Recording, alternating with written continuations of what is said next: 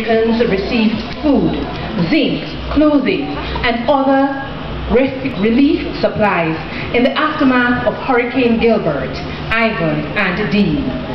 Over the past 17 years, he has partnered with the organization Food for the Poor and coordinated the building of over 300 houses for poor families.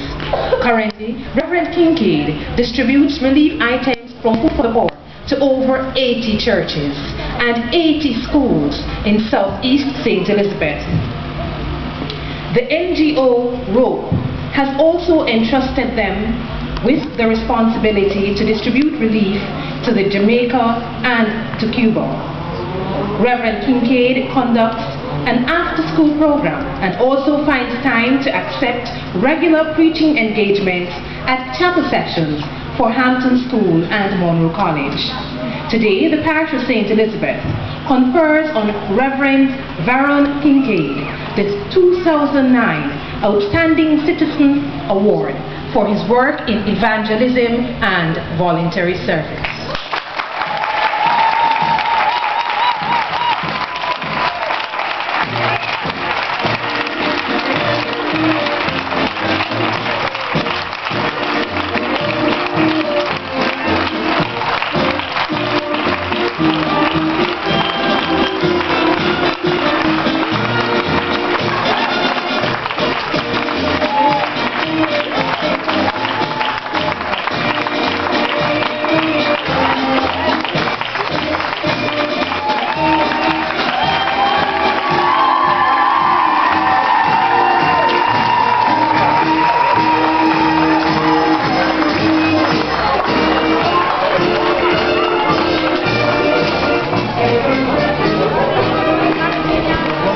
Jonathan